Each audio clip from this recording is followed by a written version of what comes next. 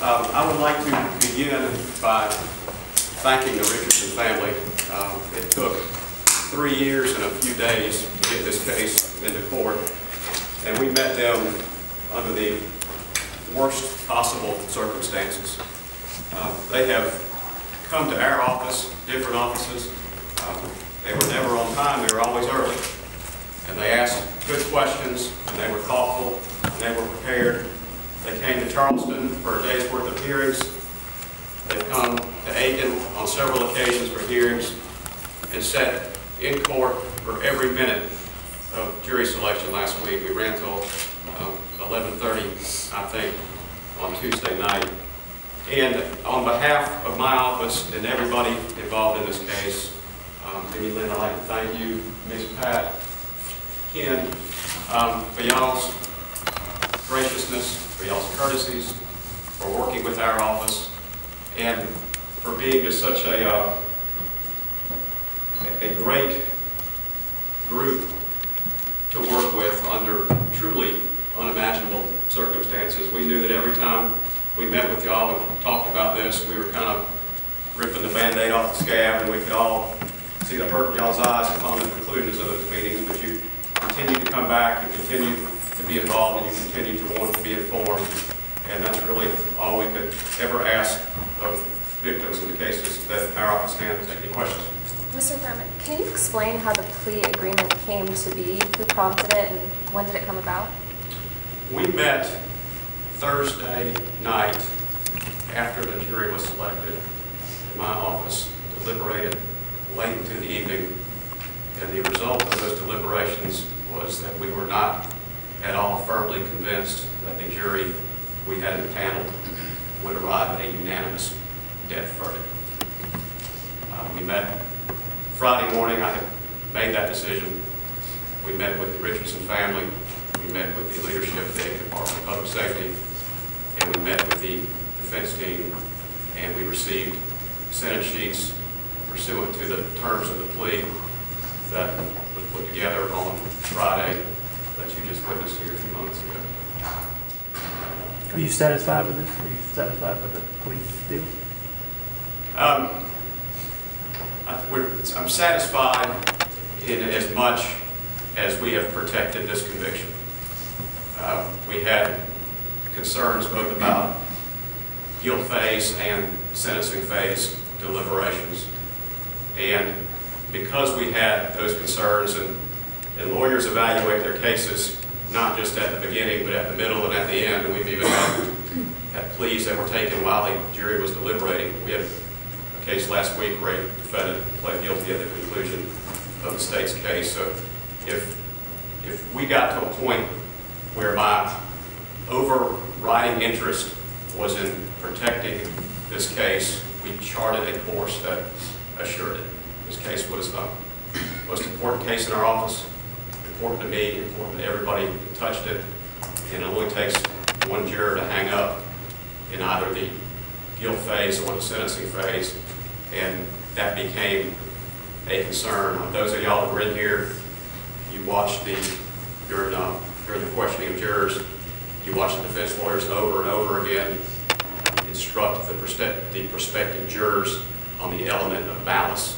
Had some changes in the law of malice over the last couple of years. Malice used to be inferred from the use of a deadly weapon. That is no longer the case. And by their routine questioning of those jurors on that question, we knew that they were going to um, aggressively assert that the element of malice was not present in this case on either the murder or the attempted murder charge. And we could have had a situation where jurors were hanging up with multiple um, sentencing options, murder, voluntary manslaughter, attempted murder, assault, battery of a high and aggravated nature. And again, it, it only takes one. So we, um, we acted, and uh, we acted decisive, decisively to create a situation where Stephon Carter would never see the outside of a prison, to include his waiver of all of his state and federal appellate rights associated with the case, which is, which is something fairly unusual. I don't know if many of y'all have seen a, uh, an appeals waiver, part and parcel of the appeal. Were you surprised he accept, he pleaded guilty. Were you afraid today that it would go down another road? Um, Really, nothing in this business surprises any of us anymore.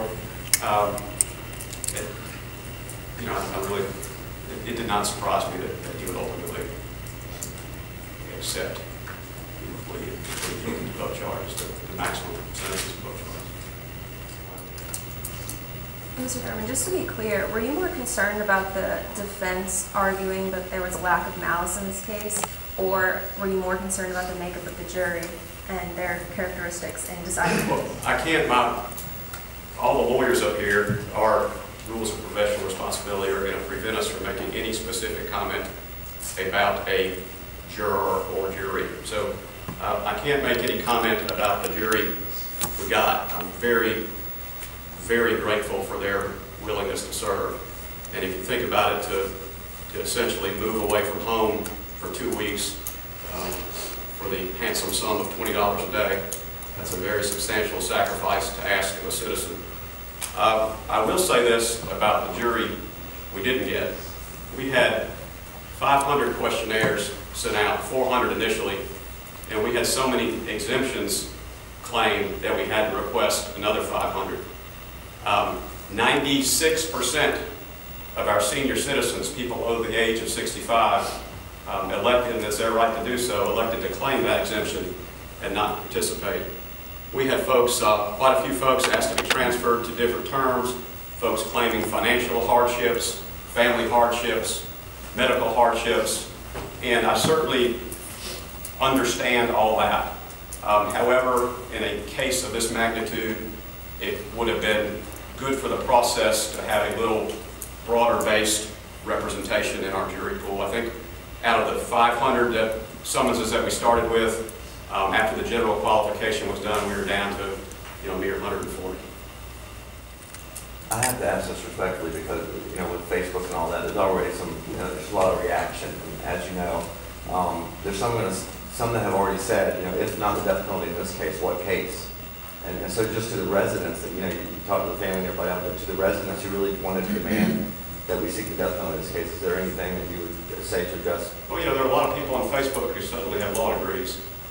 And um, I I think uh, to those who are actually interested or able to come to court and watch the juror selection process, you know, understanding that the defense gets 10 strikes, you know, we only get five, understanding that there is no right for the state to question a juror. The defense has that right. Uh, We, we moved uh, really out of fairness in, in asking um, the judge to allow the state not just to ask questions, but to alternate. The defense was always wanting to go first. And, um, you know, some people forget that while the defendant has a right to a fair trial, the state has a right to a fair trial too. So I was glad that, that Judge Newman saw it that way. Um, You know, every, everyone is entitled to whatever opinion they may want to have. I would just maybe um, encourage folks to, to take a look in the mirror and ask themselves if they would be willing to make the sacrifice that these 12 citizens did to sit in this jury box um, for a, a case like this.